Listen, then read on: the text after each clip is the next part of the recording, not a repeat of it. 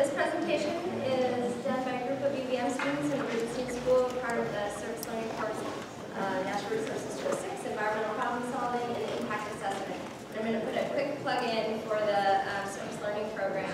Uh, if you guys, you know, keep that in the back of your mind about projects, because there's actually two graduate classes that are usually looking for um, projects to work with the med students. Um, their specific project partnered with the Vermont DEC to assess the, the effectiveness of the LaRosa program, water quality monitoring organization. Presentation is delivered by, I should have checked your names, Samantha Clerkin, Rachel DeWitt, Lauren Jenness, Jenness, and Caitlin Trimmer. Great. Thank you all for coming this afternoon. I'm Rachel DeWitt. Um, we, as you said, are a group of UVM students, and we partnered with the DEC um, with their watershed management division, headed by Neil Penn.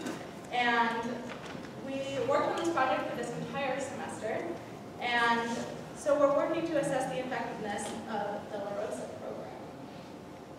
On the slide behind me, you can see a general breakdown of the watersheds across um, the state of Vermont and just several pictures that highlight these water bodies.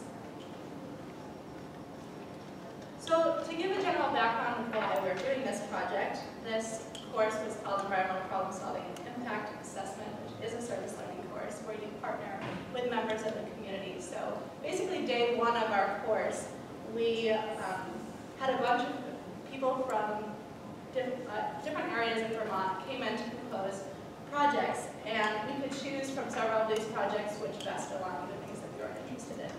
So Neil uh, advertised his problem of just going through the LaRosa program, assessing the effectiveness, getting an idea of how these watershed associations that fall under the program are Um, so we self-organized as a group based on our mutual interest in water.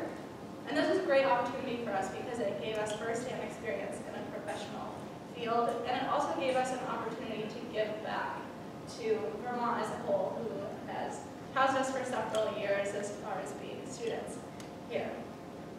Uh, this is also a good opportunity for the DEC because they are able to reach out to the community with a third-party perspective. So act as an unbiased point of view because we don't have unfavorability either way. The LaRosa program itself, if any of you are wondering, I know a few of you here are familiar with it, is a program that was created by the DEC and it monitors the health of watersheds throughout Vermont. So the watershed associations are assigned to specific watersheds and they're composed of volunteers and citizen scientists. The establishment of the LaRosa program was done to assist these watershed associations with analysis of water samples here at a lab um, located in Hills, which is a Hills building on UVM's campus. Um, there's also a mutualistic relationship component of this because the watershed associations are able to process their samples for free through this lab, and the DEC is also able to attain water quality data as a greater whole here um, through this program. But another component that we want to emphasize is though these watershed associations are collecting fabulous data and doing a great job, we need to go a little bit beyond data collection, and there's a need for implementation, restoration efforts, and remediation efforts where the need arises. So we had three main goals that we worked with to help sort of focus what we were doing. Um, the first goal was to foster communication between all of the watershed associations that are a part of the LaRosa program. Um, our second goal was to just sort of ask a series of questions to help assess the um, sort of success of the program and how well it's working for all of the associations. And our third goal was to determine any roadblocks that the uh, associations were having with the implementation and planning of projects that they were um, doing using the data that they got from program. Uh, so to do this, we interviewed representatives from a bunch of different watershed associations that are part of the LaRosa program. Um, we had a meeting in Montpelier with a few key stakeholders to try to start to figure out what the problems, potential problems could be with the LaRosa um, we talked to Guy Roberts from the lab to get his perspective on it. We spoke with Chris Stepenuck, who implemented a similar, similar volunteer-based program in Wisconsin. And we talked to Linda Green, who has been with the Watershed Watch down at URI for the last 25 years. And they've had a lot of success there with their volunteers and their by talking to all these people, we were able to come up with a list of questions that we sent out. We sent out 11 questions as, a, as an online survey that all of the watershed representatives filled out prior to um, interviews that we then did with them to just sort of get more information. Um, after the interviews, we took all of that information, synthesized it, uh, summarized it, and then used that to create, um, to make recommendations that we are then presenting to Neil and the DEC to improve the LaRosa program. So we asked a wide range of questions to all of the participating representatives. We asked some questions about the specific watershed, so just generally, what are the waters that uh, you're responsible for? Um, how, like, who is involved with your association, and um, how do you use the data that you collect? Uh, we asked questions about the sample collecting process to see if there are any roadblocks there. Um, we asked questions about generally the effectiveness of the program and if it's working for them, and um, and also some questions about the lab experience, so what it's like getting the samples all the way to the lab, particularly from the people that are farther away from Burlington, and um, questions about just what the experience is like getting to the lab and um, delivering the samples. Okay, so to start off, we kind of wanted to figure out how these watershed define success.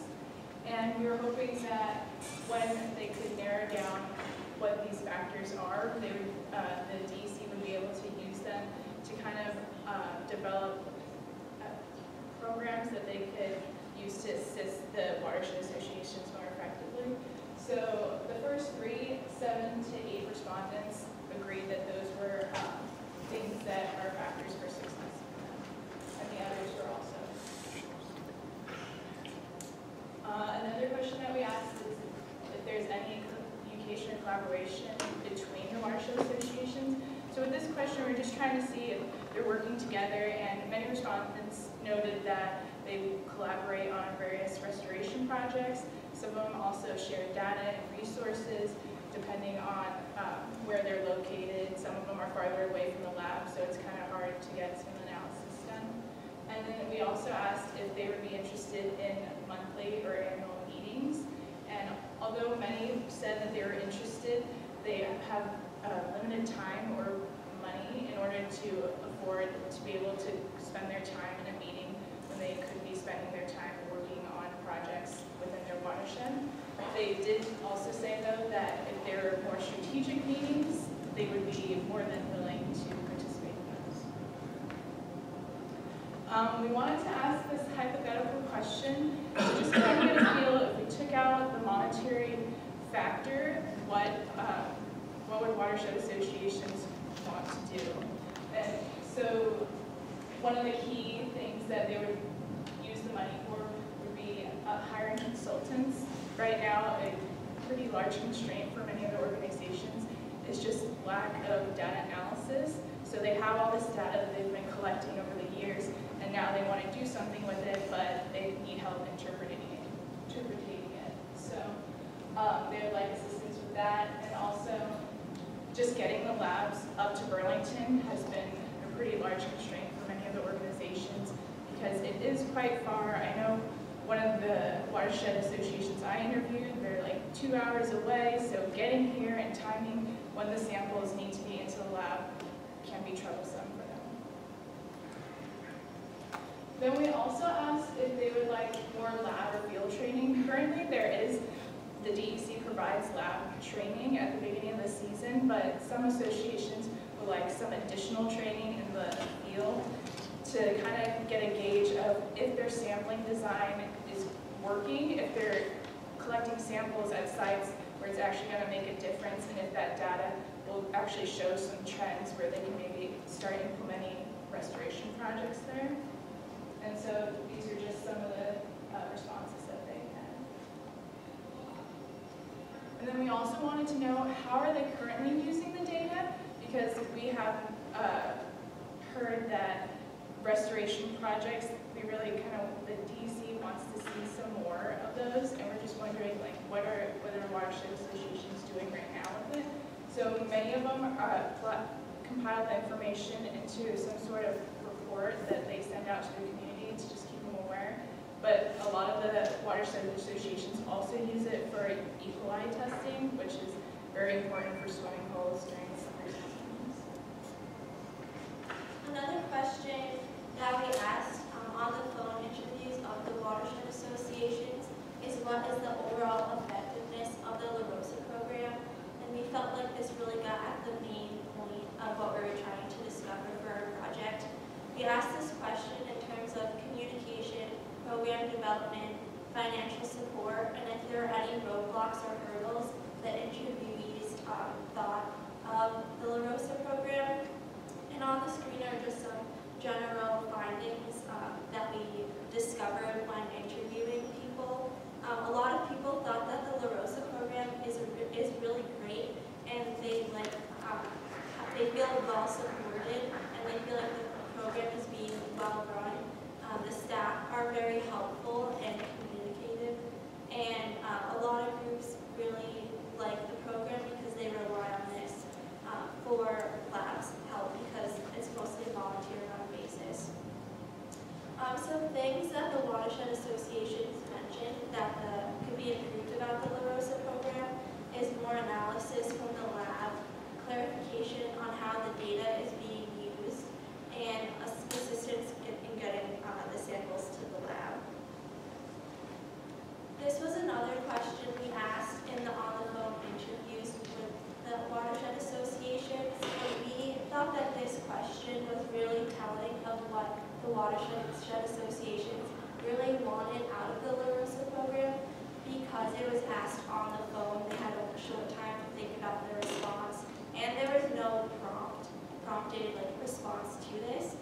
And so of the 17 groups that specifically answered this question, Five mentioned the difficulty in getting the samples to and from the lab. Three mentioned wanting better analysis, and two groups mentioned other things. And there are, are other approaches that we wrote in the report, um, but these were the ones um, that were specifically mentioned multiple times. And so with all of this uh, data that we collected on the surveys and o- on the over-the-phone interviews, these were the five key main recommendations that we are submitting to the LaRosa program. And these five uh, ones on the screen are based on the fact that multiple watershed associations identified these as a problem. And they were um, talked about in multiple different ways in multiple different questions. Right, so going forward, based on what we discovered in this project, um, there are several key steps that uh, would allow for a continuation of dialogue between the DEC and the watershed associations, and also general things that we'd like to implement, uh, first and foremost. So the first one would be to create a LaRosa partnership website, which would highlight all the work that all these watershed associations are doing. And there would also be summaries of each of these groups to explain who they are. Um, we're feeling that it's probably best if this summary comes from the group itself, so they can display themselves in a way that's um, best displays who they are. So that's our next steps that we're thinking about doing immediately. There are several people that we would like to acknowledge for providing a lot of help with this project. Um, Neil Calhoun, uh, Zach Escalenda and Marcella Dent are associated with the class side of this component. So Zach is our professor and professor, and Marcella is our TA. Uh, Jim Kellogg, Guy Roberts, Bethany Sargent, Dan Needham, um, Fritz Gerhardt, and Marty Illick were all at our meeting in Montpelier that we attended earlier this semester. And we'd also like to thank Linda Green and Chris Stepenuck for providing insight. And we would also like to thank all the watershed associations that provided feedback through the phone interviews and the surveys. So if you're here in the room now, Thank you so much for coming and. And I don't know how much time we have for questions now, but we have, we are going to be acting as